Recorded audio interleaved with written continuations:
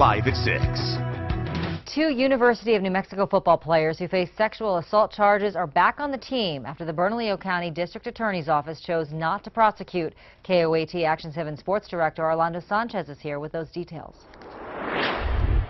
The DA is not prosecuting Lobos running back Crusoe Gongbay, cornerback SaQwan Edwards, and former UNM student Ryan Ruff due to insufficient evidence. And today the two football players were back at practice.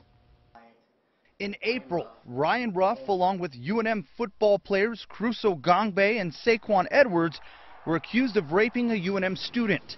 The Bernalillo County District Attorney's Office will not prosecute them. Mr. Ruff has long held his innocence and is pleased today to finally put this unfortunate incident behind him. The DA had dismissed the charges in June, but at that time they could have been refiled. As for Gongbay and Edwards, they've been allowed back on the football team. The reason I dismissed them from the team was because of the criminal case. And once that criminal case was closed, I saw no reason not to reinstate them to the team. So Gongbay and he'll take... Both players are expected to play significant roles this season. The school's athletic website even describes Gongbay as the top option at running back.